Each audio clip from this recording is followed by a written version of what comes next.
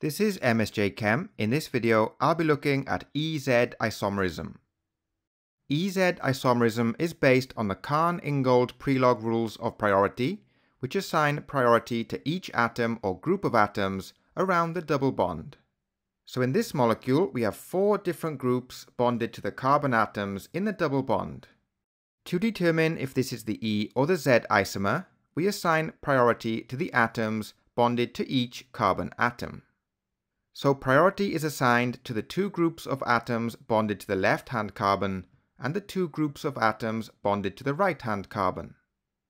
The atom or group of atoms attached to the carbon atoms of the double bond with a higher atomic number have priority. If we look at the carbon atom on the left, bromine has a higher atomic number than hydrogen, therefore bromine has greater priority.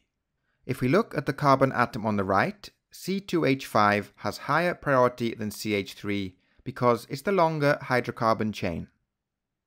If both of the highest priority groups are on the same side of the double bond, it is the Z isomer. If the highest priority groups are on opposite sides of the double bond, it is the E isomer.